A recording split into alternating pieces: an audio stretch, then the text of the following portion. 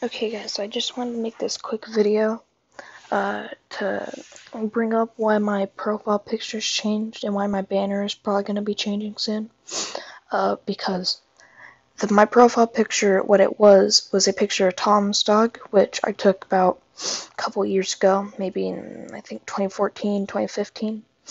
And um, uh, I pretty positive Tom's dog is a copyrighted picture, so legally I can't use it, even though that's not the and that's not the original picture. That I had a mustache and bow tie to. That's not much, so that doesn't really count. Uh, so it's a copyrighted picture, so I can't use it. So the obvious solution is either find a different profile picture or draw it draw Tom's dog and use it because technically that'd be fan art and that's it wouldn't be copyright. So of course that's what I did because I like I like profile picture.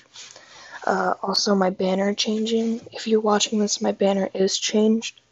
Then this is why. But as of right now, my banner hasn't changed because I'm gonna be changing it though because copyright reasons too. Because that is a picture taken from an episode of Phineas and Ferb. I thought it was a pretty funny episode though. It's just a animation error. It's pretty cool. Uh, but of course I had to change that too because of copyright reasons. So it's just a quick little update. See ya.